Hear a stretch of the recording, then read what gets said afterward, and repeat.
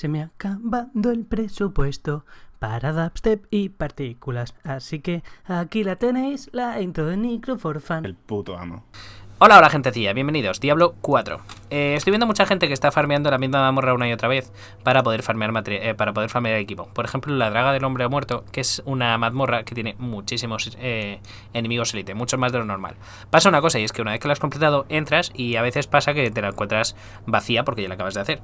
¿Cómo se hace para rellenarla? ¿Cómo se hace para reiniciarla? Pues en la sección del diario donde tendrías las habilidades Abajo del todo pone reiniciar mazmorras Y la aceptas. Esto lo que hace es que te reinicia las mazmorras Y puedes volver entrar y la puedes volver a hacer y puedes volver a enfrentarte a todos los bichos de nuevo. Entonces sales, la reinicias, entras, sales, la reinicias, entras.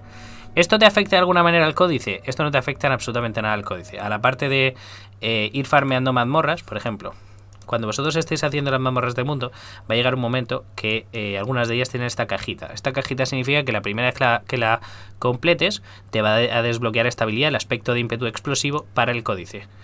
¿El hecho de reiniciar las mazmorras te quita las, los poderes del códice? No, lo único que hace es que te reinicia la mazmorra, te la hace que vuelvas a poder completarla. Y nada más. Yo ahora me meto aquí y a priori los bichos deberían volver a estar vivos porque eh, la hemos reiniciado.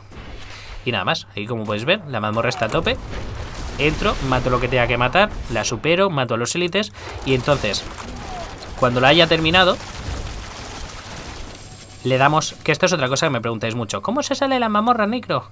O bien le dais aquí a la M y pincháis aquí, o bien os venís al mundo y pincháis donde os dé la gana, o le dais la E y le dais a abandonar mamorra. ¿De acuerdo? Pues ahora cuando estemos fuera podemos volver a reiniciarlas y volver a entrar. Y de esa manera podemos hacer una y otra y otra y otra vez todas las veces que queréis la misma mamorra. Concretamente, dentro de la beta, yo consideraría que esta es la mejor para hacer. Nos venimos aquí, reiniciamos las mamorras y volvemos a entrar y a farmearla, sin parar. Y nada más, eso es todo. Gente, espero que os haya sido útil. Eh, sé que es una chorrada, pero me han estado preguntando cómo se realiza las mazmorras o cómo se salen las mazmorras y hemos resuelto las dos dudas en este vídeo. Nos vemos.